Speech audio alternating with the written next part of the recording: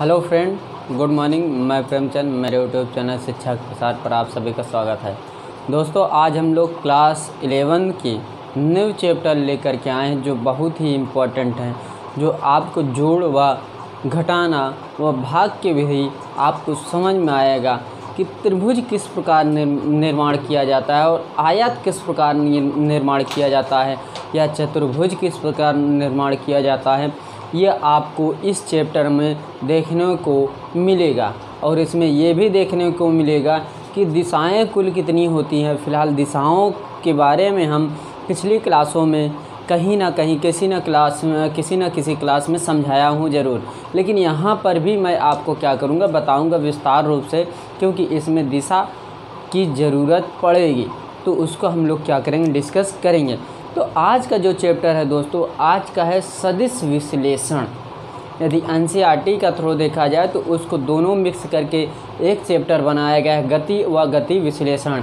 ये दोनों को मिक्स करके एक चैप्टर बनाया गया है, लेकिन हम लोग इसको अलग अलग करके क्या कर रहे हैं, अध्ययन करेंगे। तो आज का जो चैप्टर है, सदिश विश्लेषण। पहले उसको हम लोग चैप्टर का नाम लिख देते हैं, देखिए, समझिए।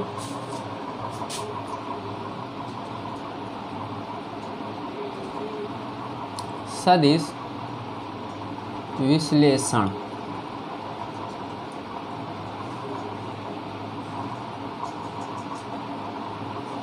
अब देखिए दोस्तों, जो सदिश विश्लेषण है, इसके अंतर्गत दो सदिश आती हैं।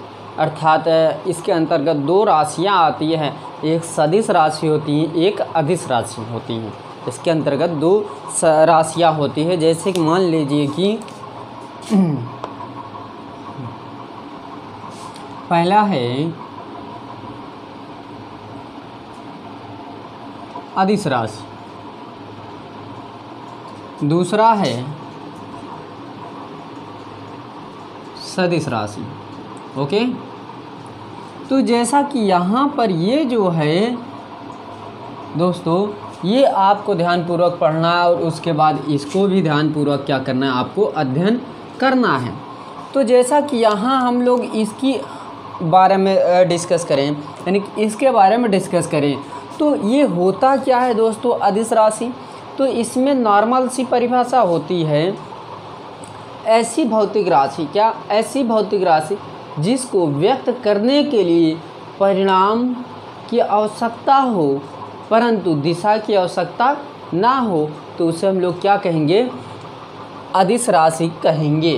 क्या? अधिस राशि कहेंगे। जैसे कि मान ली कि, मान लीजिए कि यहाँ पर एग्ज़ाम्पल देखा जाए तो यहाँ पर आप लोग लिख सकते हैं, क्या? कार्य। क्या? कार्य। द्रव्यमान। दूरी। ये सभी हैं। अनेक अनेक प्रकार के ये कुछ एग्ज़ाम्पल हैं जो आपको मदद करेगी और यहीं पर आप लोग आयत लिख सकते हैं।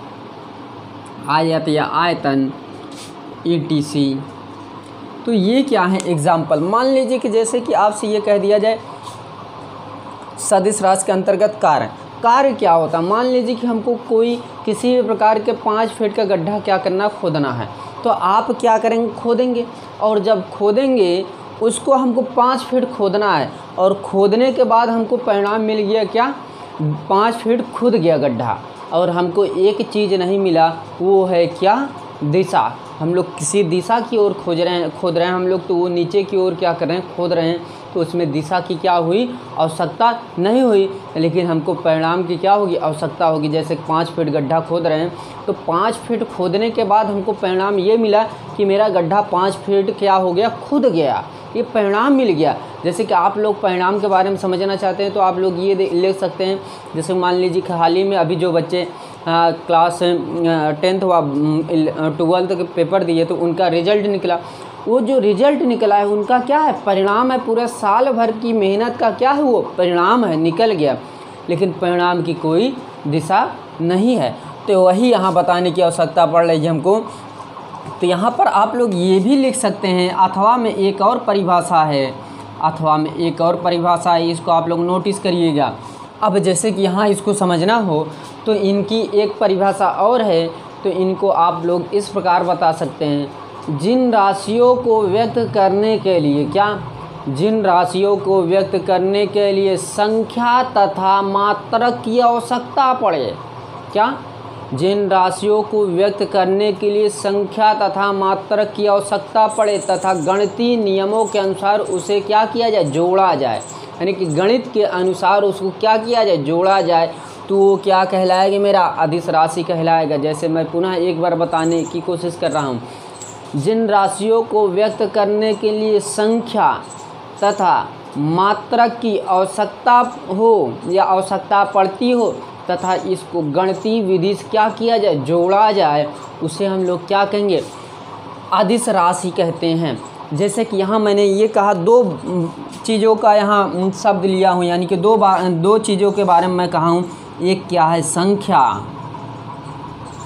दूसरा क्या है? मान लीजिए कि ऑब्लिक लगा देते हैं, मात्रक। जिन राशियों को व्यक्त करने के लिए संख्या व मात्रक की क्या होती है, आवश्यकता होती है तथा उनको गणती विधि से क्या किया जाए, जोड़ा जाए तो उसे हम लोग क्या कहेंगे? अधिस राशि कहेंगे। जैसे एग्ज़ाम्पल आप लोग ले सकते हैं। मान लीजिए कि एक एग्ज़ाम्पल ले लेते हैं। रोहन की रसोई में, क्या? रोहन की रसोई में एक केजी आलू है। क्या? वन केजी आलू है। तो उस वन केजी आलू में ये निर्धारित होगा कि सात, आठ, नौ, दस कोई भी एक निश्चित संख्या में आलू होगी। मान लीजिए नौ आलू। नौ आलू को मिला करके एक केजी उतर रहा है। उसको तौलने पर एक केजी क्या कर रहा है? निकल रहा है मेरा। तो उसको एक केजी तौलें तो उसमें क्या हुआ? उसमें दो चीज़ें उभर के आई।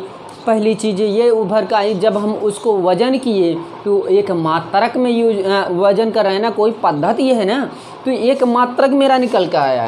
क्या मात्रक निकल कर के आया? मात्रक के साथ साथ हमको ये भी मिला है कि उस एक केजी आलू में कितने आलू हैं? नौ आलू।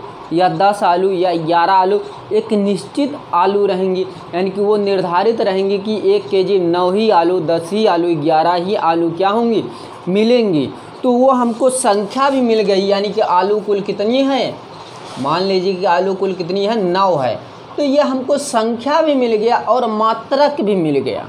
तो उसे हम लोग क्या कहेंगे? अधिस राशि कहेंगे। आई बात गई समझ दोस्तों ये बहुत ही इंपॉर्टेंट है।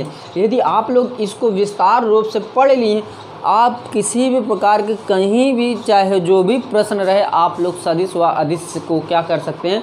सॉल्व कर सकते हैं। जैसे कि यहाँ पर एक एग्ज़ाम्पल और ले सकते हैं, दूरी।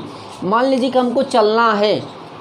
दस किलोमीटर जाना है, मान लीजिए कि रोहन के घर हमको दस किलोमीटर जाना है, और रोहन का घर वृत्ताकार मार्ग में एक स्थित है। मान लीजिए कि इस प्रकार रोहन का घर यहाँ पर है और हमको यहाँ से चलना है इस प्रकार यहाँ से एंटी क्लॉकवाइज क्या? एंटी क्लॉकवाइज चलें। तो ये हमको ये डिनोटेड कर रहा है कि हम लोग चल रहे हैं। चल रहे हैं, दस किलोमीटर दूर रोहन का घर है। दस किलोमीटर के बाद हमको रोहन का घर मिल गया, वो हमको परिणाम मिल गया। लेकिन इसमें दिशा कोई निर्धारित की जा रही है? नहीं। तो क्या होगी? आधिश राशि के ही अंतर्गत आएगी। इतनी बात क्लियर जैसा कि यहाँ पर दिशा की बात हुई है दोस्तों तो आप लोग ये बताइए कि कुल दिशाएँ कितनी होती हैं? तो कुल दिशा कितनी होती है दोस्तों? दस। कितनी? दस। उसको, उसके बारे में भी हम लोग क्या कर लेते हैं? डिस्कस कर लेते हैं। जैसा कि वहाँ देखिएगा। यहाँ पर बोर्ड में देखिए।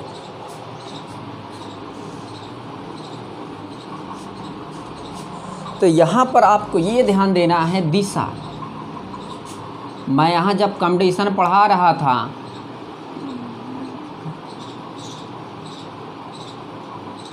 तो वहाँ पर हम लोग दिशा दिशा के बारे में विस्तार रूप से डायरेक्शन टॉपिक चल रही थी रीजनिंग में तो वहाँ से आप लोग देख सकते हैं। फ़िलहाल हम यहाँ बता दे रहे हैं, वहाँ भी बताया था और यहाँ भी बताने जा रहे हैं। दोनों जगहों से आप हमारी क्या कर सकते हैं, ये दिशा के बारे में पढ़ सकते हैं। तो यहाँ पर आपको ये ध्यान देना है दोस्तों, जैसा कि मान लीजिए कि दिशा कुल दस होती हैं। दिशा कुल कितनी होती? दस होती। उसमें से ये पूछ लिया जाए कि मूल दिशाएँ कितनी होती हैं तथा उप दिशाएँ कितनी होती हैं दोस्तों? तो आपको ये निर्धारित करना है कि मूल दिशा दो होती हैं। क्या मूल दिशा कितनी होती हैं? दो। हम लिखने जा रहे हैं, देखिएगा। मूल दिशा कुल कितनी होती है दोस्तों? दो। और उप दिशा उप दिशा कुल कितनी होती है? सिक्स। और वैसे जो दिशा होती है जैसे कि हम लोग कह देते हैं, ऐसी दिशा का नाम बताइए जो अदृश्य होती है। तो यहाँ पर आप लोग लिख सकते हैं, कुल अदृश्य दिशाएँ कितनी होती हैं? दो। यह अदृश्य दिशा है फ़िलहाल हम लोग इसके बारे में अभी नहीं डिस्कस करेंगे। पहले हम लोग डायग्राम बनाए डायग्राम बनाए। तो यहाँ पर आप लोग देख सकते हैं कि दिशा, देखिए।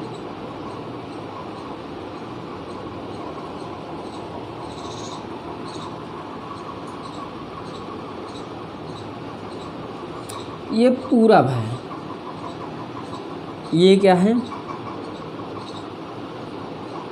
पश्चिम है, ओके? तो ये जो है दोस्तों जो पूरब है, वह पश्चिम है, ये क्या है मेरी? मूल दिशा है। क्या? मूल दिशा। अब देखिए। यहाँ पर हम लोग लिख सकते हैं मूल दिशा। ओके? यहाँ पर भी लिख सकते हैं मूल दिशा। और ये आप लोग याद करिएगा, ध्यान रखिएगा, जो उप दिशा होती है, वो सदैव मूल दिशा से ही निर्माण की जाती हैं। क्या? उप दिशा जो हैं, जो सिक्स उप दिशाएँ हैं, उसको हम लोग सदैव मूल दिशा से ही बनाते हैं, ओके? अब हम लोग इसके बारे में समझते हैं। देखिए, आप लोग जानते हैं कि ये क्या है मेरा? ये उत्तर है क्या? ये उत्तर है। ये क्या है? दक्षिण है। ओके? अब इसमें से हमको ये दो दिशा लिखना आवश्यक है। कहीं कहीं आपको ये भी मिल सकता है कि मूल दिशाएँ कुल कितनी होती आप फोर भी बता सकते हैं, लेकिन सर्वप्रथम कितना बताएँगे? टू बताएँगे, फिर उसके बाद फोर बताएँगे, जब ऑप्शन में नहीं मिलेगा, तब। तो यहाँ पर आप लोग देखिएगा, यहाँ चार दिशाएँ हो गई, एक, दो, तीन, चार। इसके मध्य में भी दिशा होती है दोस्तों, और इसके भी मध्य अर्थात मिडिल में होती है, और इसके भी मिडिल में होती है, और इसके भी क्या होती है? मिडिल में होती है। तो यहाँ पर जो दिशा है दोस्तों, यहाँ पर ये बात होगी, ये सर्वप्रथम हम लोग यहाँ से चलना प्रारंभ करेंगे अर्थात क्लॉक ना कि एंटी क्लॉक क्या करेंगे? चलेंगे। यहाँ क्लॉक चलेंगे। क्या क्लॉक वाइज तो यहाँ चलने की कोशिश करिएगा। मान लीजिए कि यहाँ से हम लोग क्या मूल दिशा से चलें तो पहला हमारा मध्य वाला दिशा प्राप्त होगा, उसके बाद दक्षिण दिशा प्राप्त होगा ना? तो यदि मान लीजिए कि इसको हम लिखेंगे, सर्वप्रथम किसको लिखेंगे?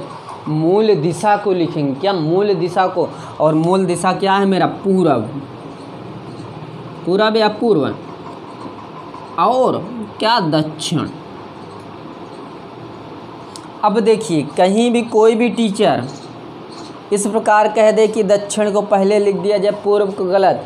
वो अपवाद स्वरूप कहीं कहीं गलत हो जाता है लेकिन उसको भी सही माना जाता है। क्यों सही माना जाता है? किस कि, किस लिए? इसको भी मूल दिशा के रूप में जानते हैं क्योंकि चार मूल दिशाएँ होती अपवाद स्वरूप। लेकिन वास्तव में कितनी मूल दिशाएँ होती? दो होती हैं दोस्तों। इसको आप लोग नोटिस करिए और ध्यानपूर्वक समझिए इसलिए ये सब बातें आपको मिलने वाली कहीं नहीं है। अब देखिए, ये तो हो गया। अब जब हम लोग आगे चलेंगे तो आप लोग दक्षिण मन लिखिएगा, बल्कि यहाँ पर आप लोग पश्चिम लिखिएगा, क्योंकि मूल दिशा क्या है मेरी? ये है पश्चिम। तो हम लोग इसको पश्चिम लिख देते हैं इस प्रकार, और फिर उसके बाद दक्षिण। ओके? और जब इसी प्रकार यहाँ से मैंने यहाँ पर चला तो इसके मध्य ये मिला। जब यहाँ से यहाँ चलेंगे तो इसके मध्य में ये मिलेगा। फिर जब यहाँ से यहाँ चलेंगे दोस्तों तो इसके मध्य में पहले ये मूल दिशा लिखी जाएगी, पश्चिम। फिर उसके बाद क्या? उत्तर लिखी जाएगी दोस्तों। इसको आप लोग नोटिस करिएगा। फिर इसी के बाद जब उत्तर से चलेंगे पूरब की ओर तो यहाँ पर पहले उत्तर नहीं लिखा जाएगी, बल्कि ये पूर्व या पूरब, फिर उसके बाद क्या लिखा जाए? उत्तर। अब ये आप लोग नोट कर सकते हैं और देख भी सक, सकते हैं कि कुल कितनी दिशाएँ हैं दोस्तों। यहाँ पर आठ दिशाएँ उभर करके आई सामने आपके। और यहाँ पर आप लोग ये देख सकते हैं कि यहाँ पर कुल कितनी दिशा हो गई? आठ हो गई। One two three four five six seven eight eight आ गई दिशा। और इसके बाद मैंने क्या कहा था? इसके पहले इसके पहले ये बताया था कि दिशा कुल कितनी होती? दस। लेकिन यहाँ वास्तव में कितने उभर के आई? आठ। तो दो दिशाएँ ऐसी होती हैं जो अदृश्य होती हैं, एक ऊपर, दूसरी क्या होती है? नीचे। तो एक इसके ऊपर, दूसरे इसके नीचे, जो कि इन दिशाओं का नाम नहीं होता। इनको अदृश्य दिशा के रूप में क्या किया जाता है? जाना जाता है। तो ये आप लोग दिशा भी पढ़ लिए, और अधिस राशि भी पढ़ लिए। अब जैसे कि यहीं पर हम लोग सदिश राशि भी देखें तो इसको आप लोग नोटिस करिएगा दोस्तों। जैसा कि यहाँ पर देखा जाए, सदिश। राशि। क्या? सदिश राशि भी क्या है? इंपॉर्टेंट बहुत इंपॉर्टेंट है दोस्तों। अब जैसे कि यहाँ पर सदिश राशि देखा जाए, ये जो है, इसकी परिभाषा ये बनेगी दोस्तों, यदि कोई भी भौतिक राशि, यदि कोई भी भौतिक राशि जिसको व्यक्त करने के लिए परिणाम तथा दिशा। परिणाम तथा दिशा दोनों की आवश्यकता पड़ती है। तो उसे हम लोग क्या कहते हैं? सदिश राशि कहते हैं दोस्तों। आई बात गई समझ में? मैं पुनः एक बार रिपीट कर देता हूँ। जिन भौतिक राशियों को व्यक्त करने के लिए परिणाम तथा दिशा की आवश्यकता होती है तो उसे हम लोग क्या कहते हैं दोस्तों? सदिश राशि कहते हैं। जैसे कि हम लोग एग्ज़ाम्पल ले सकते हैं बल। क्या? बल। यदि आप लोग फोर्स लगाएँगे, मान लीजिए कि हमको, मान लीजिए कोई टेबल है मेरे सामने, उसको हम लोग जब फोर्स लगा करके दो फीट तक ठेलेंगे बल लगा करके तो एक निर्धारित यानी कि हमको दो फीट ठेलना था, यानी कि उस पर फोर्स लगाना था, दो फीट के बाद उस पर फोर्स नहीं लगाना है। यानी कि जब हम उस पर फोर्स लगाएँ तो उसको दो फीट तक क्या करेंगे? फोर्स लगाते रहेंगे। जब तक वो दो फीट पर पहुँच नहीं जाएगी। जब वह पहुँच गई तो हमको ये मिल गया कि वो क्या है? परिणाम मेरा निकल गया कि दो फीट तक ही हमको क्या फोर्स लगाना था, धक्का लगाना था, उसके बाद नहीं लगाना था। और उस पर जब आप लोग फोर्स लगाएँगे तो एक क्या होगी? निर्धारित दिशा होगी, पूरा पश्चिम या उत्तर या दक्षिण। और मान लीजिए कि इसमें चारों से नहीं हुआ तो आप लोग उप दिशाओं को भी रख सकते हैं, जैसा कि मैंने अभी यहाँ बताया। ये जैसा कि यहाँ पर बताया मैं अभी। तो ये सभी बहुत ही इंपॉर्टेंट हैं। जैसा कि यहाँ पर एग्ज़ाम्पल लिखा जाए, जैसा कि यहाँ पर एग्ज़ाम्पल लिखा जाए दोस्तों एग्ज़ाम्पल क्या होगा? आप लोग यहाँ लिख सकते हैं बल।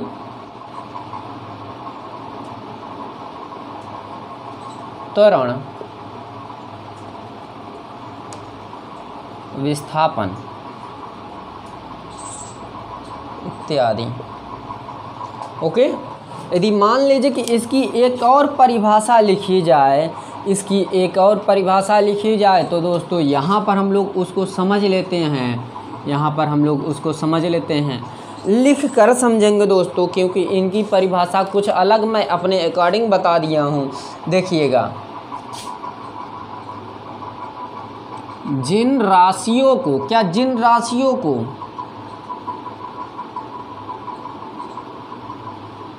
को बताने के लिए, क्या जिन राशियों को बताने के लिए परिणाम?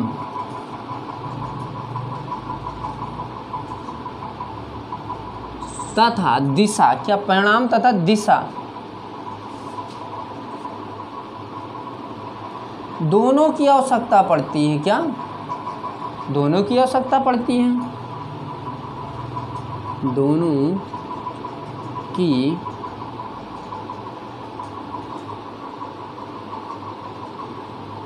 आवश्यकता पड़ती है या होती है। होती है, उन्हें हम लोग क्या कहते हैं?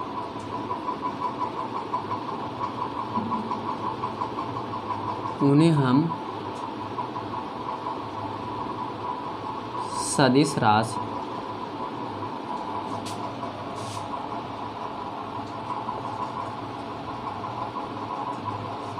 तो ये रही बात जैसा कि इसको आप लोग ध्यानपूर्वक समझिएगा। पहले मैंने ये बताया कि जिन राशियों को व्यक्त करने के लिए परिणाम तथा दिशा दोनों की आवश्यकता पड़े तो उसे हम लोग क्या कहते हैं? सदिश राशि कहते हैं। उसी प्रकार यहाँ मैं यहाँ कुछ शब्दों को चेंज किया हूँ। परिभाषा यानी कि शब्द वही है और यहाँ पर कुछ शब्द हैं जिसको मैंने चेंज किया। जिन राशियों को बताने के लिए परिणाम तथा दिशा दोनों की आवश्यकता होती है, इतनी पॉइंट चेंज हुई है, होती है और ये जिस जिसको जिसको मैं ब्रैकेट बंद कर रहा हूँ, डिब्बे बॉक्स में वो क्या है? शब्द को परिवर्तित कर दिया गया है। उन्हें हम सदिश राशि कहते हैं। एग्ज़ाम्पल में सेम एग्ज़ाम्पल रहेंगे। सेम एग्ज़ाम्पल इसमें रहेंगे। इसको भी आप लोग ध्यानपूर्वक देखिएगा। लेकिन इससे पहले आप लोग कुछ बातों की याद करिए। जैसा कि यहाँ पर इसको रफ कर दिया जाए दोस्तों।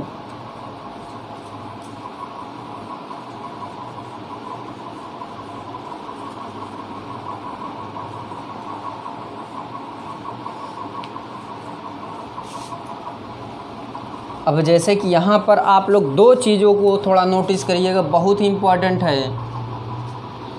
जैसा कि यहाँ पर ये जो है, इसी को हम, इसी में और कुछ बातों को कन्वर्ट कर सकते हैं। क्या? और भी बातों को कन्वर्ट कर सकते हैं। जैसे कि इतनी बातें हैं, इसी के आगे हम लोग ये कनेक्ट कर सकते हैं। इसके आगे देखिए, इसके आगे आप लोग समझने की कोशिश करिएगा। ये देखिए प्रोसेस जो है, इसको मैं बताने की कोशिश कर रहा हूँ। देखिए, आप लोग समझिएगा। ये जो परिभाषा है, इसको भिन्न कैसे किया जाए थोड़ा सा इसी के आगे जोड़िएगा आवश्यकता होती है। इसी के आगे जोड़ना है, देखिए। यानी कि इसको आपको नहीं लिखना है। देखिए, अभी मैं समझाने जा रहा हूँ, देखिएगा। ये जो ब्रैकेट में बंद कर दिया, इसको नहीं लिखना है। देखिए, इसको और किस प्रकार निचोड़ को और अलग परिभाषा किस प्रकार बनाई जाती है, देखिए। यहाँ पर आप लोग ये लिख सकते हैं, तथा, क्या? तथा। तथा त्रिभुज त्रिभुज, नियम के अनुसार क्या त्रिभुज नियम के अनुसार जोड़ी जाती है। इन्हें, उन्हें सदिश राशियाँ या राशि कहते हैं। तो यहाँ पर ये है दोस्तों, जैसा कि मैंने उससे जस्ट अपोजिट परिभाषा बताया, जिन राशियों को बताने के लिए परिणाम तथा दिशा दोनों की आवश्यकता होती है, उन्हें हम लोग क्या कहते हैं दोस्तों? सदिश राशि कहते हैं। क्या सदिश राशि?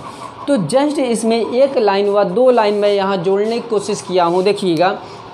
मैं इतना सिर्फ़ प्रोसेस जोड़ा हूँ, ये जो मैं एक्स्ट्रा लिखा हूँ यहाँ पर, जिन राशियों को बताने के लिए परिणाम तथा दिशा दोनों की आवश्यकता होती है। आवश्यकता होती है तथा त्रिभुज नियम के अनुसार इसे क्या किया जाएगा? जोड़ा जाएगा। अर्थात जितने भी भौतिक राशियाँ होंगी, उनको क्या किया जाएगा? त्रिभुज के अनुसार क्या किया जाएगा जोड़ा जाएगा। जब अभी आप लोग वेक्टर पढ़ेंगे, वेक्टर बहुत ही इंपॉर्टेंट है दोस्तों। इसीलिए सदिश विश्लेषण पढ़ाया जाता है, जिसके कारण आप लोग वेक्टरों की सहायता से त्रिभुज व आयतन व चतुर्भुज का निर्माण कर सकते हैं। और इसमें दो प्रोसेस होता है। एक सिर को पकड़ा जाता है, एक पुच्छ को पकड़ा जाता है। दोनों को हमेशा अपोजिट रखा जाता है। यदि सिर पकड़ें तो दूसरा क्या होगा? पुच्छ हमको पकड़ करके जोड़ना पड़ेगा, जिसके कारण हमको त्रिभुज व आयतन तथा चतुर्भुज या क्या? कुछ भी किसी भी प्रकार का हम लोग त्रिभुज बना सकते हैं। खष्टभुज ये सब जितने भी पढ़े हैं, ये सभी प्रोसेस आप लोग क्लियर कर सकते हैं। वेक्टर के अकॉर्डिंग वेक्टर बहुत ही इंपॉर्टेंट है दोस्तों। तो ये रही बात, जैसा कि मैंने यहाँ पर दो लाइन जोड़ा इसमें, इसकी एक अलग परिभाषा बनाने की कोशिश किया जो बन गई। इसको आप लोग क्लियर करिएगा। अब इसी का आगे दो पॉइंट ऐसी है जो आपको ये सचेत करेगी कि जो भी सदिश राशि के अंतर्गत आएगा, उसको प्रोसेस क्या होगा? उसको समझिए आप लोग। जैसा कि यहाँ पर आपको ये ध्यान रखना है, जो विद्युत धारा होती है दोस्तों, विद्युत विद्युत धारा की दिशा हो दिशा नहीं होती। विद्युत धारा की दिशा नहीं होती है। ओके? विद्युत धारा की दिशा नहीं होती है। लेकिन यहाँ पर आप लोग ये कह सकते हैं, जो सदिश राशि है, मान लीजिए सदिश राशि, ये जो सदिश राशि है दोस्तों इसमें प्रोसेस ये रखा गया है, जैसे मान लीजिए वैद्युत क्षेत्र, ओके? वैद्युत क्षेत्र, और यहाँ चुंबकीय बल चुंबकीय बल की रेखाएँ, ओके? और यहाँ पर धारा घनत्व भी लिख सकते हैं, धारा घनत्व इत्यादि। तो यहाँ पर आपको ये नोटिस करना है, जो ये वैद्युत क्षेत्र है, ये वैद्युत क्षेत्र जिस प्रकार मैंने यहाँ वैद्युत धारा को ये बताया कि इसकी दिशा नहीं होती है।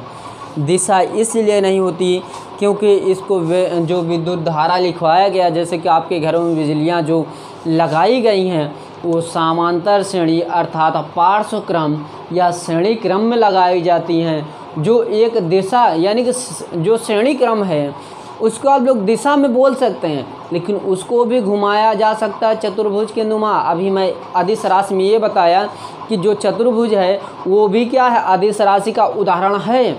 उसी प्रकार यहाँ विद्युत धारा भी क्या है? अधिस राशि में होती है। क्यों? क्योंकि इसमें दिशा है ही नहीं तो ये किसमें आ गई? अधिस राशि में आ गई। लेकिन फिर भी इसको सदिश राशि में रखा जाता है अपवाद स्वरूप। क्या? अपवाद स्वरूप इसको सदिश राशि में रखा जाता है। इसको आप लोग ध्यानपूर्वक पढ़िएगा। इसलिए ये बातें कहीं मिलने वाली नहीं है आपको। तो यहाँ पर आप लोग ये सभी बातों को क्या करिए नोट करते हुए चलिए, जिस प्रकार जिस प्रकार मैंने ये आपको बताया कि जो दिशाएँ हैं, कुल कितनी होती हैं? दस होती हैं।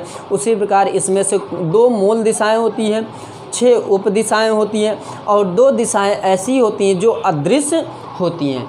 दो दिशाएँ ऐसी होती हैं जो अदृश्य होती हैं। ये आपको फैक्ट है।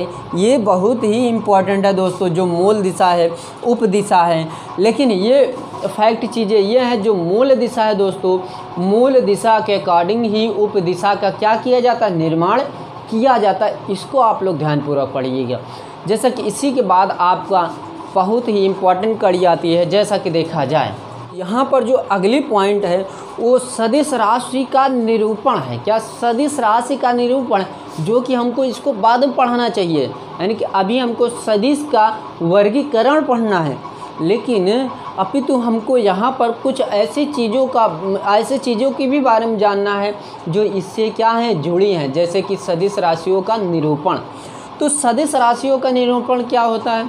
ऐसी भौतिक राशि, या इस प्रकार हम लोग ये लिख सकते हैं, जैसा कि यहाँ इसको रफ किया जाए, तब इसको समझाते हैं।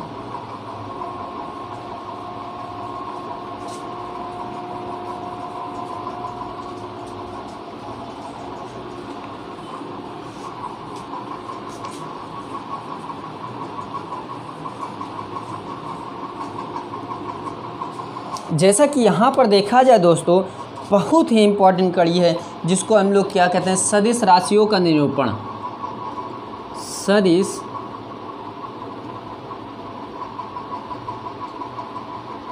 राशियों का निरूपण। ओके?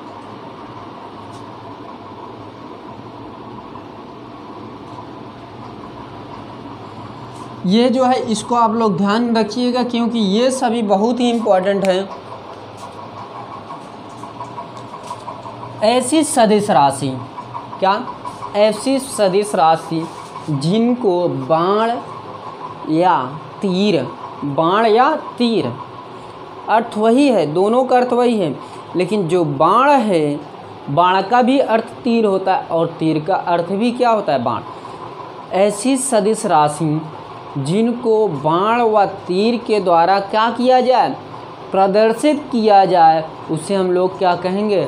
सदिश राशियों का निरूपण। क्या सदिश राशियों का निरूपण? अब यहाँ बाण व तीर की बात आई है दोस्तों तो यहाँ दो बातें उभर करके आती हैं। किरण व रेखा में क्या अंतर है? किरण व रेखा में। तो जैसा कि हम लोग यहाँ देखते हैं, समझते हैं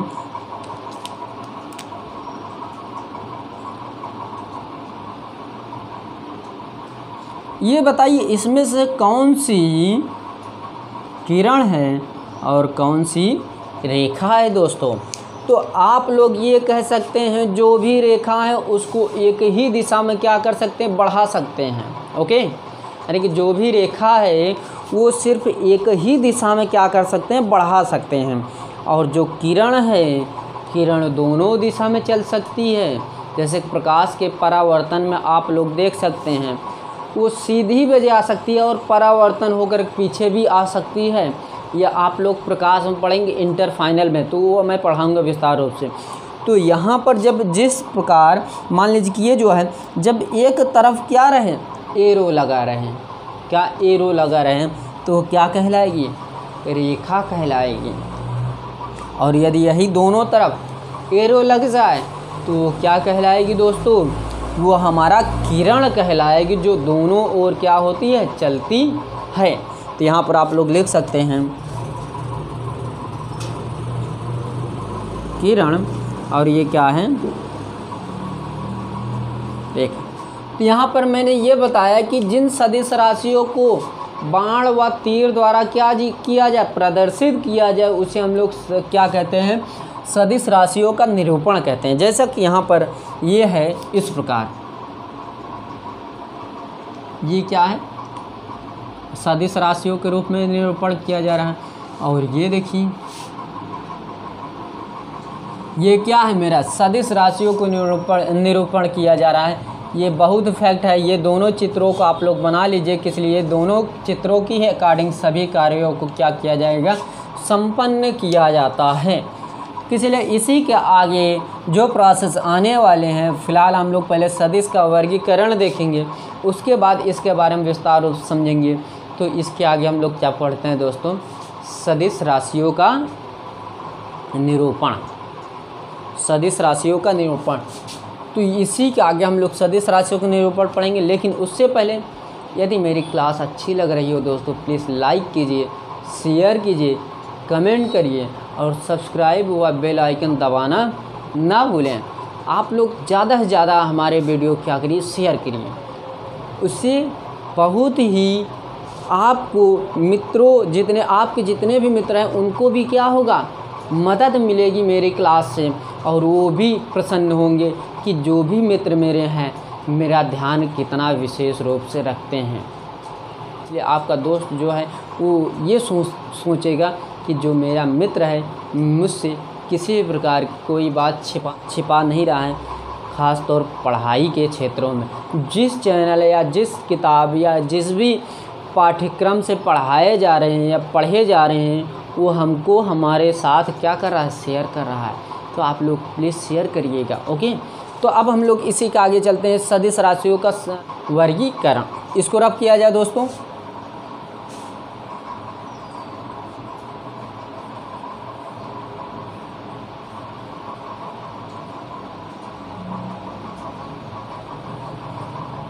तो यहाँ पर हम लोग सदिश राशियों का वर्गीकरण पढ़ेंगे दोस्तों। तो यहाँ पर देखिएगा, जो है बहुत ही इम्पोर्टेंट है। सदिश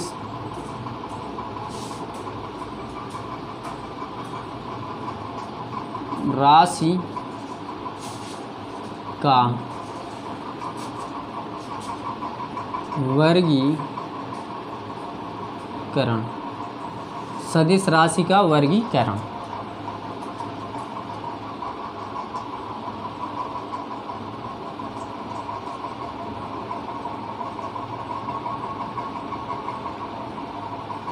तो इसी के आगे हम लोग देखें दोस्तों तो इसके निम्न प्रकार के वर्गीकरण किए जा सकते हैं। तो यहाँ पर आप लोग लिख सकते हैं, जैसा कि सदिश राशियों को निम्न भागों में विभाजित किया जाता है, ओके? तो जैसा कि यहाँ पर यदि देखा जाए दोस्तों तो यहाँ पर कुछ ऐसे शब्द हैं जो बहुत ही इम्पोर्टेंट है, जैसा कि यहाँ पर देखा जाए। पहला पॉइंट है मुक्त सदिश। क्या? मुक्त सदिश।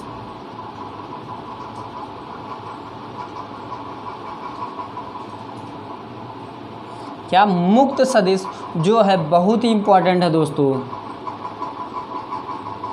दूसरा नंबर है, उसको हम लोग बोलते हैं सर्पी सदिश। सर्पी सदिश और तीसरा जो है दोस्तों, उसको हम लोग बोलते हैं क्या? आबद्ध। सदिश ओके? इसी के अकॉर्डिंग चौथा पॉइंट क्या हो जाएगा दोस्तों? ये हमारा जो है चौथा पॉइंट इसको समान सदिश कहते हैं क्या? समान। वहीं पर पांचवा सदस्य जो ये है सदिशों दोस्तों, ये बहुत ही इम्पोर्टेंट है। इसको आप लोग ध्यानपूर्वक समझिएगा। जैसे कि यहाँ पर पांचवा देखा जाए, यहाँ विपरीत सदिश ओके सिक्स नंबर है। एकांक सदिश और सेवन्थ नंबर ये कुछ ऐसे सदिश हैं दोस्तों, जो आपके थोड़ा पढ़ने का रवैया क्या करेगा, बदल देगा। शून्य सदिश अब देखिए, इसमें से आपको कुछ ही पॉइंट पढ़ना है, जैसे कि समान सदिश, ओके? विपरीत सदिश, ओके? एकांक सदिश, ओके? और शून्य सदिश। ये सदिश आपको पढ़ना है सर्वप्रथम तो उसको हम लोग सर्वप्रथम इसी पर फोकस करते हैं, जैसा कि यहाँ पर ध्यानपूर्वक देखिएगा। देखिए, हम लोग यहाँ फोर्थ नंबर लेते हैं, क्या? समान सदिश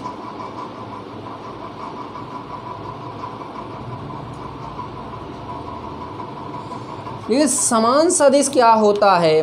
इसमें जैसा कि यदि हम लोग लिखें लिख करके समझ लेते हैं ज़्यादा बेटर रहेगा।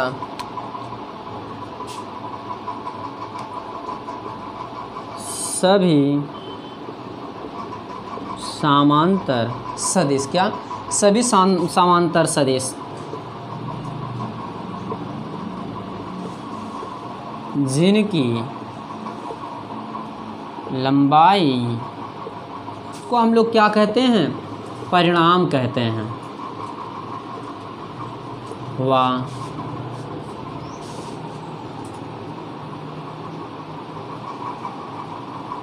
समान हो। क्या हो? समान हो। तो उसे समान सदिश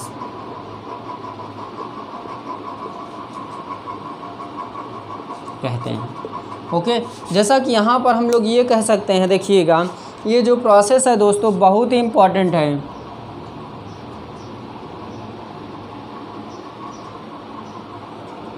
देखिए, ये एक समान लंबाई है। मान लेते हैं इस पर वेक्टर ए कार्य कर रहा है, ओके? यानी कि वेक्टरों का सहयोग, जब सदिश पूछेगा तो वेक्टर लग जाएगा। बी है, वेक्टर बी ये क्या हो जाएगा? वेक्टर सी और ये वेक्टर डी अब जब समान ये लंबाइयाँ हैं तो ज़ाहिर से बात है, ये आपस में चारों क्या होंगे? बराबर ही होंगे। वेक्टर ए बराबर वेक्टर बी बराबर वेक्टर सी बराबर वेक्टर डी ये क्या है? चारों आपस में क्या है? बराबर है ना? तो ये क्या होगी? समान सदिश। जैसे कि यदि इस पर नोटिस किया जाए, एक बार इस पर देखा जाए तो ये बताया जा रहा एक समांतर सदिश। जिनकी लंबाई, ये समांतर क्या है? सदिश हैं। जिनकी लंबाई अर्थात क्या परिणाम व दिशा समान हो तो उसे समान। देखिए, इनकी लंबाई इनकी लंबाई, इनकी मान लीजिए कि इसकी लंबाई क्या है कुल? टू ए है, यानी कि टू मीटर है, और इसकी भी क्या हो जाएगी? टू मीटर ही हो जाएगी, और उसी प्रकार ये भी क्या हो जाएगी? दो मीटर भी हो जाएगी, और इसी प्रकार दो मीटर ये भी। समान लंबाई हो के और दिशा भी क्या है? एक ही है। तो ये क्या कह, कहलाएगी? समान सदिश कहलाएगी, ये कहते हैं। आई बात गई समझ दोस्तों। तो इसी के बाद हम लोग अगला पॉइंट देखते हैं और ये जो विपरीत सदिश है बहुत ही इम्पोर्टेंट है, उस पर हम लोग फोकस कर लेते हैं ओके तो जैसा कि यहाँ पर आप लोग को देखना है, विपरीत सदिश तो इसको आप करें पहले।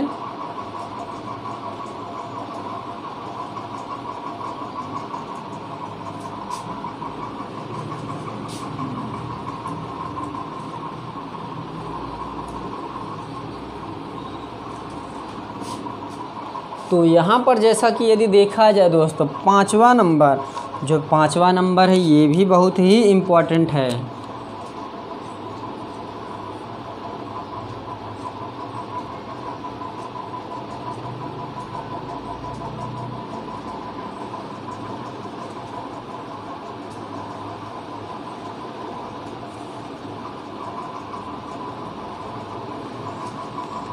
ये जो है, जैसे कि ऐसे यहाँ पर हम लोग लिख सकते हैं, ऐसे दो समांतर सदिश लिख लीजिए, जिनके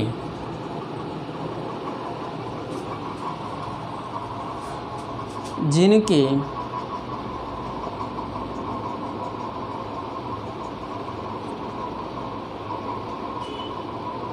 परिमाण।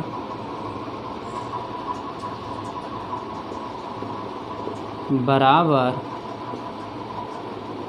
हों। क्या जिनके परिणाम बराबर हों परंतु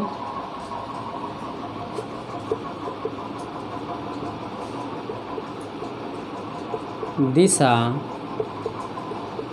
विपरीत हो तो उसे विपरीत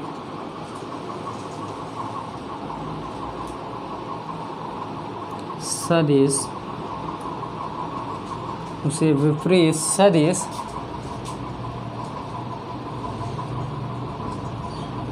कहते हैं। ओके? जैसा कि यहाँ पर ये प्रोसेस हो जाएगा, इसको आप लोग थोड़ा फोकस करिएगा। वेक्टर ए क्या? वेक्टर ए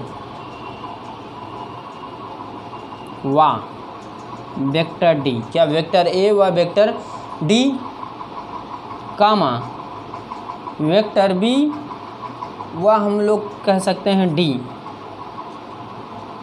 वेक्टर की ही साथ में लगे रहेंगे, इसको आप लोग थोड़ा ध्यान रखिएगा।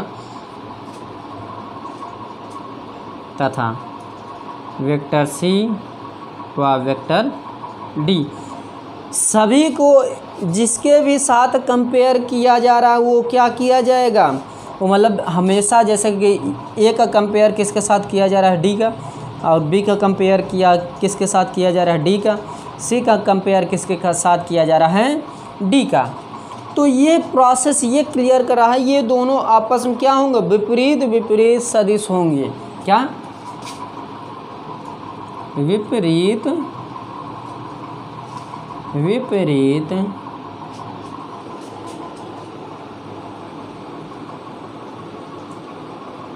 सदिश हैं। विपरीत विपरीत सदिश हैं। तो इसको आप लोग थोड़ा ध्यानपूर्वक देखिएगा। अब जैसे कि यहाँ पर जब विपरीत सदिश हो जाएँगे दोस्तों तो यहाँ पर प्रोसेस ये क्लियर हो जाएगा। वेक्टर ए बराबर माइनस डी वेक्टर क्या? माइनस डी वेक्टर और यहीं पर जब वेक्टर बी बराबर हो जाएगा तो माइनस डी वेक्टर ये भी। सभी में डी वेक्टर क्या होगा? माइनस में लिखा जाएगा और सी वेक्टर बराबर क्या हो जाएगा? Minus D vector. ये चार तीन पॉइंट इसको आप लोग नोटिस करना और लिखना है इसलिए इसी के अकॉर्डिंग ही सभी कार्य किए जाते हैं।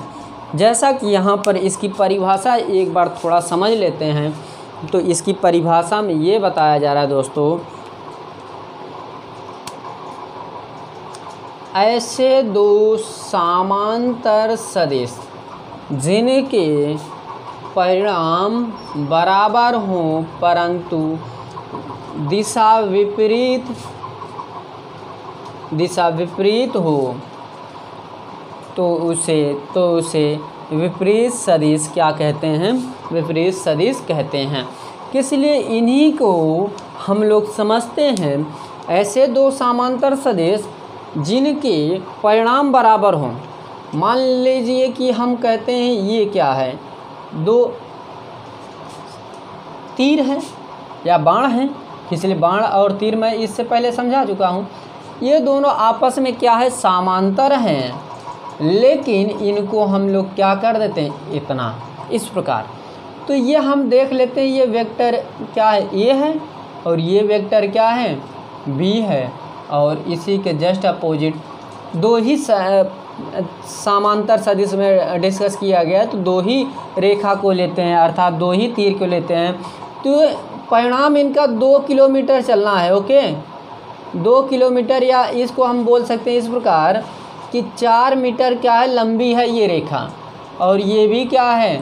चार मीटर क्या है? लंबी है और इसको ए बिंदु से, बी बिंदु से ए बिंदु तक जाना है। अर्थात इसको हम बना लेते हैं इस प्रकार। बिंदु वन से बिंदु टू तक जाना है और इसको बिंदु टू से वन तक आना है, ओके? लेकिन इन, ये दोनों आपस में दूरियाँ क्या कर रही हैं? समान तय कर रही है। ना चार मीटर ये भी तय कर रही है और चार मीटर ये भी तय कर रही है। परिणाम तो हमको मिल गया कि चार मीटर के बाद हमको ए से, यानी कि बिंदु वन से टू पर पहुँच जाएँगे। और उसी प्रकार बिंदु टू से वन पर पहुँच जाएँगे चार मीटर के बाद, यानी चार मीटर दूरी तय करने के बाद।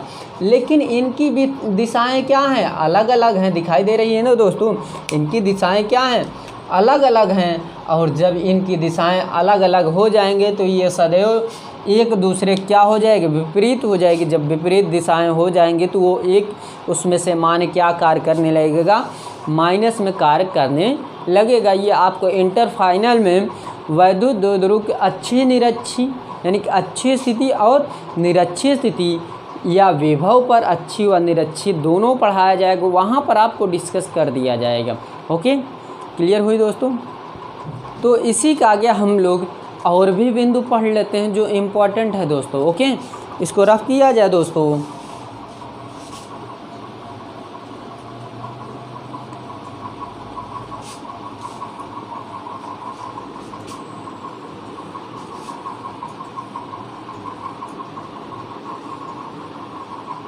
तो जैसा कि यहाँ पर हम लोग देखें, ये सिक्स नंबर पॉइंट ओके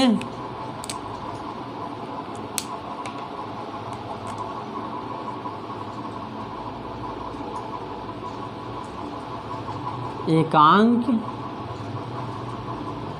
सदिश ओके?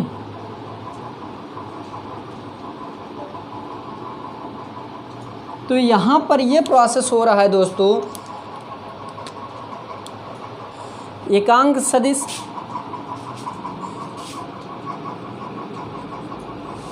वह सदिश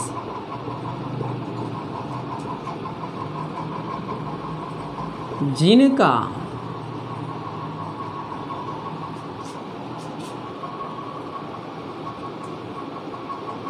परिणाम वन हो। परिणाम क्या हो? वन हो। उसे हम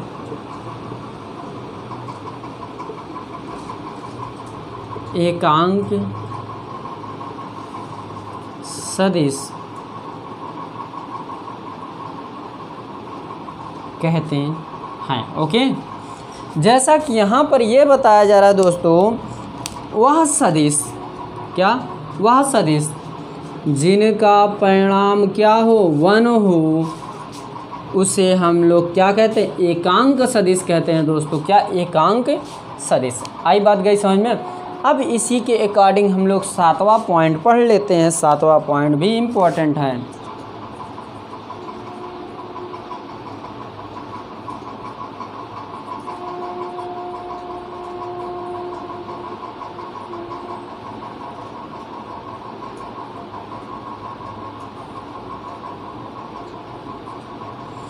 अब यहाँ पर सातवां पॉइंट क्या होगा?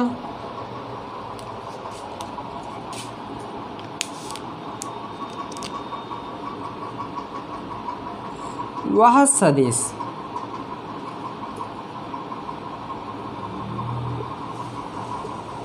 जिनका जिनका परिणाम शून्य हो। जिनका परिणाम क्या हो? शून्य हो। तो वहाँ। उसे हम लोग शून्य सदिश कहते हैं। तो वहाँ।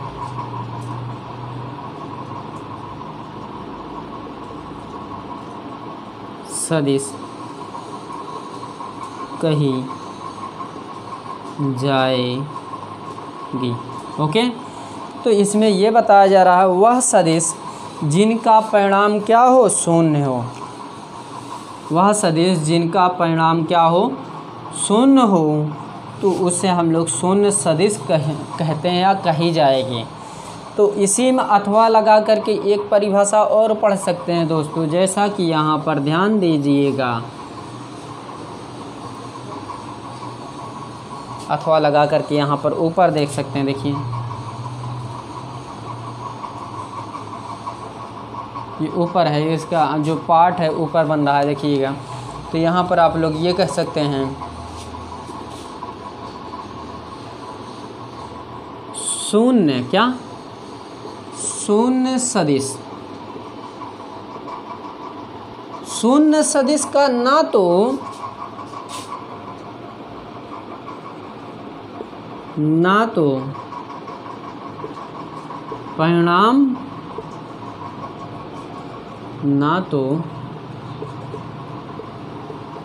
परिणाम और और ना ही कोई दिशा।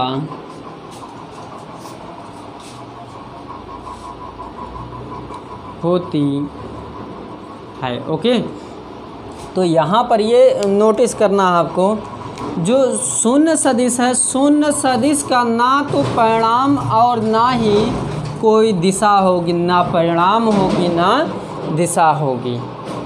क्लियर ना ही परिणाम होगा, ना ही दिशा होगी। इसको आप लोग नोटिस करिए इसलिए इसमें से चार पार्ट को मैंने क्या किया? विस्तार रूप से आपको बताया और तीन पार्ट क्या किया, छोड़ दिया। अब तीन पार्ट जो है, मुक्त सदिश और सर्पी सदिश या आबद्ध सदिश, ये इम्पोर्टेंट नहीं है। इनमें बहुत ही प्रोसेस अलग होता है जो आपको मतलब ये पूछा नहीं जाता। इसमें किसी भी प्रकार की कोई भी समस्या आपको नहीं आएगी। तो इसी का आगे हम लोग एक पॉइंट और समझ लेते हैं जो इम्पोर्टेंट है ओके यहाँ पर हम लोग सदिशों का योग देख लेते हैं। क्या सदिशों का योग इंपॉर्टेंट है? फिर उसके बाद क्या किया जाएगा? प्रोसेस क्लियर किया जाएगा। सदिशों का घटाना भी पढ़ लेंगे। फिर उसके बाद गुणा भाग सब देखेंगे। ओके इसको रब किया जाए।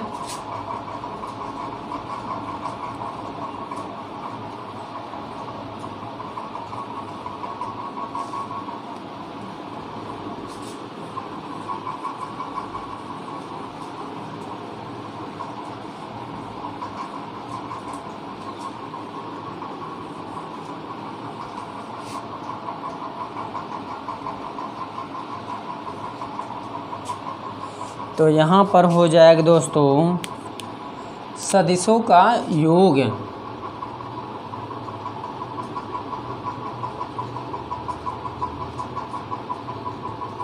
सदिशों का योग।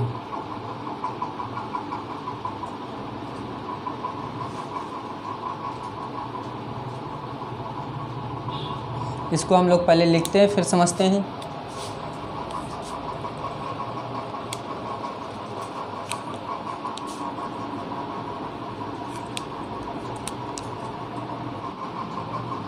किसी भी सदिश राशि में परिणाम व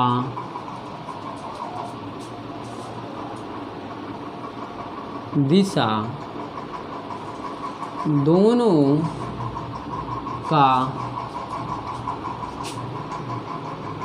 समावेश हो तो इन्हें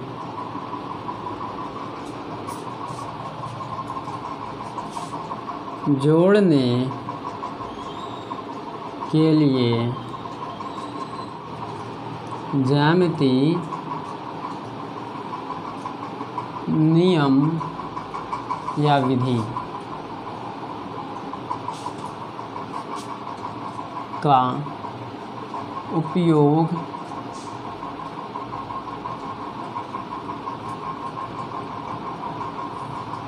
होता है ओके जब इसको सदिशों का योग करेंगे दोस्तों, इसमें ज्यामिति विधि का क्या करना पड़ेगा? हमको उपयोग करना पड़ेगा, इसको थोड़ा ध्यान करिएगा।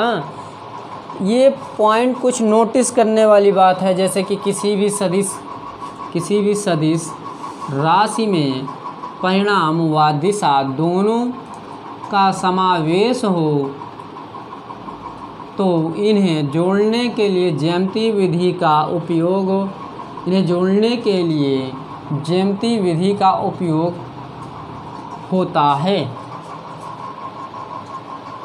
ओके? अब इसी के आगे हम लोग देखते हैं। अब जैसा कि यहाँ पर जैसे मान लीजिए कि इस प्रकार। क्लियर करिएगा थोड़ा।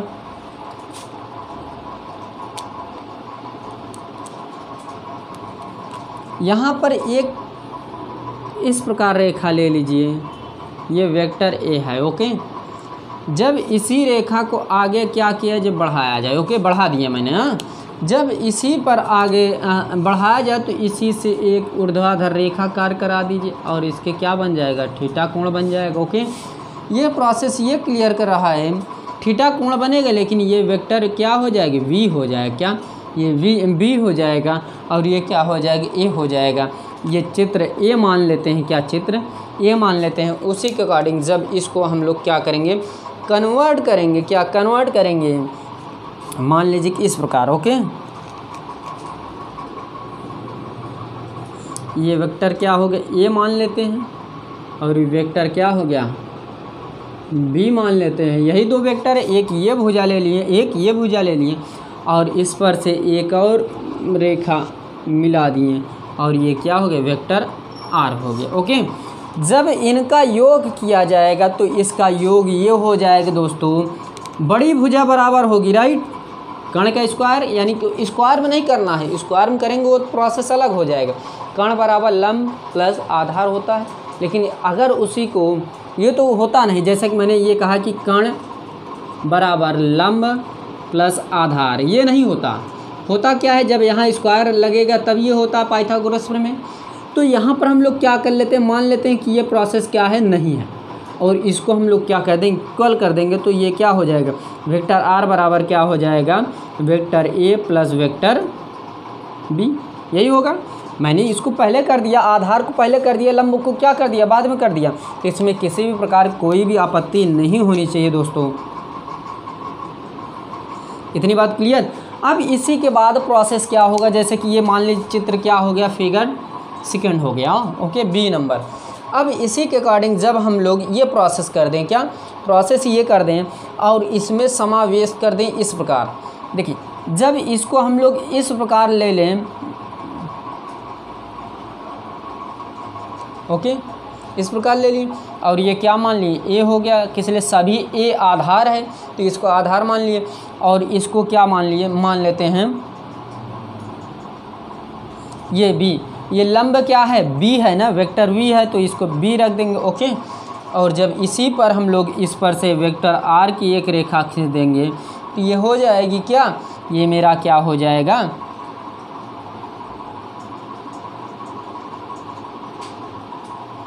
ये क्या हो जाएगा? इस तरफ़ इसका मुख रहेगा तो ये क्या हो जाएगा? ये आर हो जाएगा। लेकिन यहाँ पर मैंने यही प्रोसेस किया हूँ, लेकिन बस इसमें उल्टा कर दिया हूँ तो ये क्या हो जाएगा वेक्टर आर डैश हो जाए क्या? वेक्टर आर डैश यदि इसका समतुल्य निकाला जाए तो इसमें प्रोसेस क्या हो जाएगा दोस्तों? देखिए, जब इसका उल्टा प्रोसेस किया जाएगा तो बी को पहले रखा जाएगा, अर्थात पहले आर को रखा जाएगा वेक्टर आर बराबर। यहाँ पर बी को पहले रखा जाएगा vector B plus vector A okay? इतनी बात क्लियर दोस्तों? ये सभी एक को एक का सिर लिया जा रहा है, एक का पुच्छ लिया जा रहा है। मान लीजिए कि ये एक रेखा लिए इसका पुच्छ हो गया, इसका सिर। तो इनका कॉम्बिनेशन किया जाता है। अब देखिए, यहाँ पर मैंने दोनों पुच्छ पुच्छ ही लिया। जब पुछ पुछ लिया जाता है तो यहाँ वेक्टर बी को पहले रखा जाता है। ये प्रोसेस थोड़ा क्लियर करना आपको हाँ। अब रही बात ये, अब इसी के आगे हम लोग देखते हैं क्या प्रोसेस होता है ओके तो ये जो, जैसे कि सदिशों का योग हो गया, सदिशों के योग को मैंने आपको क्या क्या समझाया? एक चित्र ए हो गया, ये बी हो गया, ये क्या हो जाएगा? सी हो जाएगा दोस्तों। और इसको आप लोग ध्यानपूर्वक देखिए, क्योंकि ये बहुत ही इंपॉर्टेंट है। इसी का आगे हम लोग पढ़ेंगे क्या? आज तो नहीं हो पाएगा जो ये पॉइंट है सेकंड ये पहला हो गया, इसके बाद ये क्या हो जाएगा? सेकंड हो जाएगा। सदिशों का घटाना। सदिशों का घटाना। इतनी बात क्लियर और इसके पहले एक और पॉइंट बची है दोस्तों, ये बहुत ही इम्पोर्टेंट है।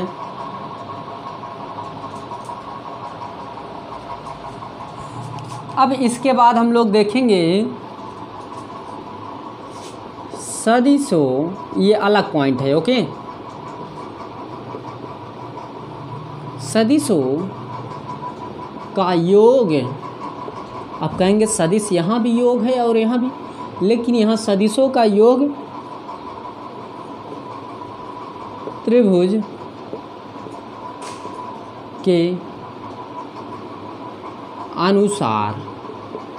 अब कहेंगे, सर जी, यहाँ त्रिभुज के अनुसार क्या प्रोसेस हुआ? यहाँ प्रोसेस ये हुआ दोस्तों, इसके त्रिभुज के अकॉर्डिंग हम लोग फार्मूला सिद्ध करेंगे। क्या रोड में A square plus B square plus two A B cos theta okay ये हम लोग सिद्ध करेंगे। ये प्रोसेस आपको क्लियर करना ये मैं सिद्ध कराऊँगा और इसके बराबर, इसके बाद भी सिद्ध होता है। और ये कंडीशन होगी लंबवत और क्षैतिज की स्थिति, यानी कि ऊर्ध्वाधर क्षैतिज दोनों की स्थिति आएगी। मैं तो ये क्लियर करवा दे रहा हूँ, पहले के लिए आपको बाद में क्लियर करना है ओके तो ये मैं जो बेसिक कॉन्सेप्ट क्लियर था मैंने इसको क्या किया? क्लियर करवा दिया। कहीं भी किसी भी प्रकार की कोई भी दिक्कत होगी आप लोग कमेंट करिएगा उस कमेंट का जवाब आपको मिलेगा। जैसा कि मैंने पिछले भी क्लास में ये बताया था कि हफ़्ते में सिर्फ़ तीन क्लासें जाएँगी वो भी एक एक घंटे लगभग रहेंगी। तो हफ़्ते में तीन क्लासें फिजिक्स की जाएँगी और एक एक दिन का गैप भी रहेगा यानी कि छः दिन में तीन क्लास जाएगी संडे क्या रहेगा? क्लास ऑफ़ रहेगा। इतनी बात क्लियर तो ये रही बात कुछ सदिशों पर। आने वाले क्लासों में हम लोग कुछ और अलग पढ़ेंगे, जो आपको बेसिक कॉन्सेप्ट क्लियर करवाएगा। जैसा कि एक बात ध्यान रखिएगा, सभी लोगों को ये नोटिस यानी कि ध्यान देना है, ध्यान देने वाली बात ही है कि सभी लोग यानी कि जो मैं पढ़ाया जा रहा हूँ, उसको आप लोग क्या करिए नोट्स बनाते हुए चलिए। इसलिए कभी भी कहीं भी आप लोग भूल जाएँ तो उसको पेज पलट करके उसको आप लोग एक बार क्या करिए, सरसरी निगाहों में क्या करिए, देख लीजिए। जिससे कि आपका क्या हो जाए क्लियर होता चला जाए। मान लीजिए कि नोट्स नहीं बनाए हैं तो वो समस्या हो जाएगी कि अब हम कहाँ से देखें? यदि बनाए होते हैं तो क्या होता? तो ये पहले ही बना लिया जाए कि ऐसी कोई समस्या ना आए कि आगे चल कर के हमको क्या करें, करना पड़े, पछताना पड़े। किसी भी प्रकार कोई भी दिक्कत होगी तो आप कमेंट करिएगा प्लीज़ तो इसी का आगे हम लोग क्या करेंगे? कुछ नए तथ्यों पर आने वाले क्लासों में क्या करेंगे? डिस्कस करेंगे। तो दोस्तों, यदि मेरी क्लास पसंद आ रही हो प्लीज़ लाइक कीजिए शेयर कीजिए सब्सक्राइब करना ना भूलें। सर्वप्रथम बेलाइकन ना दबाना ना भूलिएगा किस लिए बेल आइकन बहुत ही इंपॉर्टेंट है। तो दोस्तों, आज क्लास हम लोग यहीं पर समाप्त करते हैं। Thank you thank you very much धन्यवाद दोस्तों।